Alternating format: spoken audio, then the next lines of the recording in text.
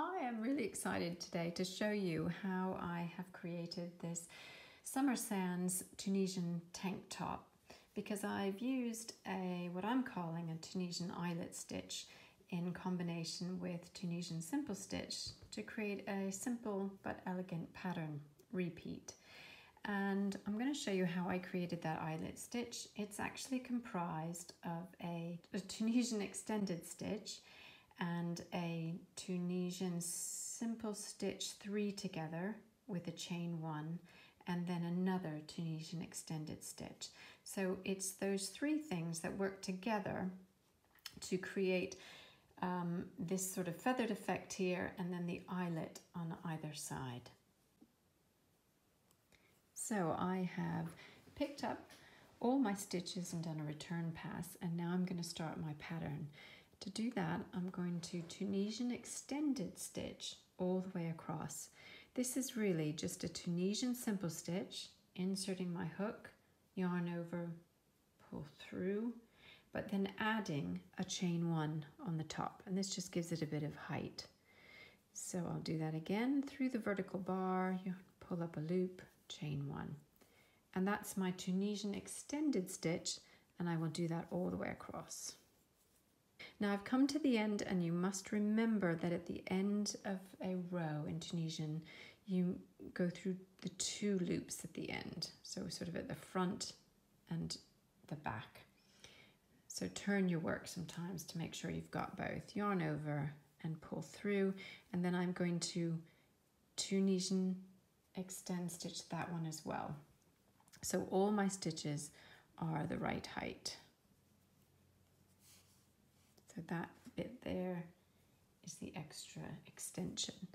And then it's a standard return back. So yarn over, go th pull through one, and then yarn over and pull through two all the way across.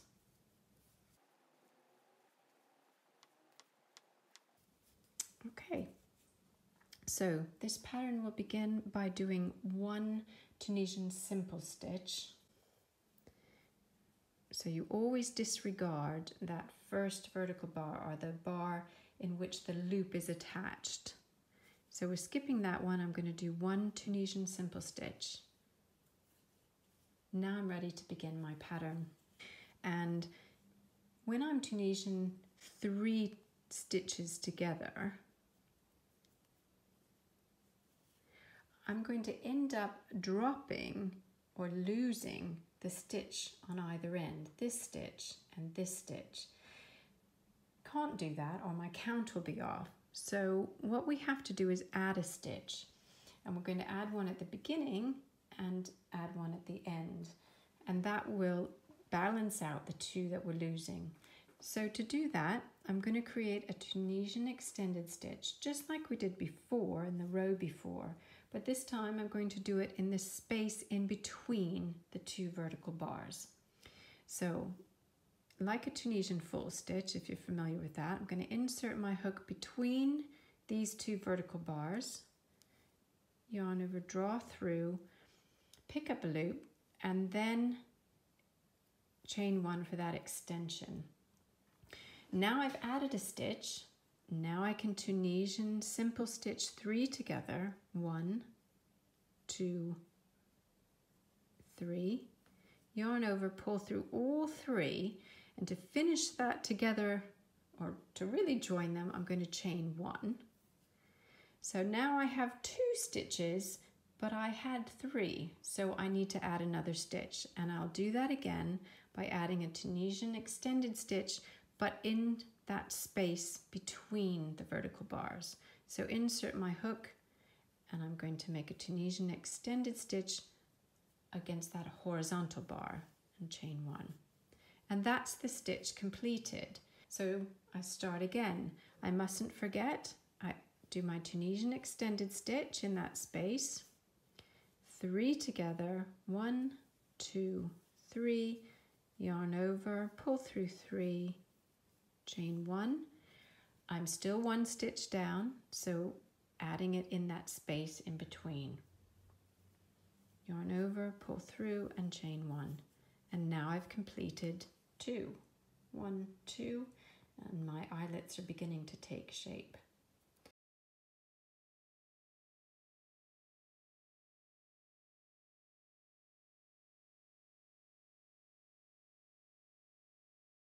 So at the very end of this row, it's going to be just a simple stitch. And then I'm at the end, so I want to make sure I go through both loops at the end of the row. Yarn over and pull through. And then it's a standard return, chain, go, go through one, yarn over and pull through two. And now it's pull through two all the way to the end of the row.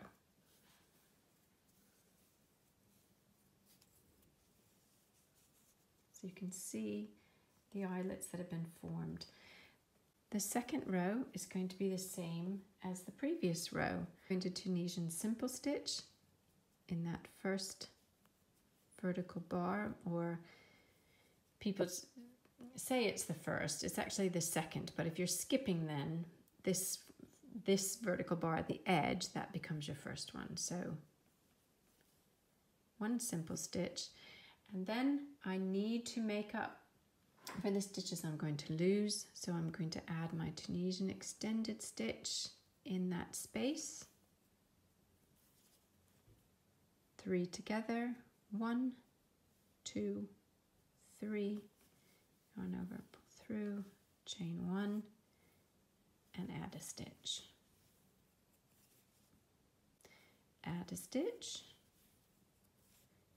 as simple stitch three together, and add a stitch. Add a stitch, simple stitch three together, one, two, three, yarn over, chain one, and finish off with an extended stitch. And you can check they should be lined up. So you can see they're lined up and the eyelets are lined up. And that's all there is to it. So I'm going to finish this row. So you should have the same number of stitches as you started and it's very simple then if you wanted to create a row of Tunisian simple stitch in between.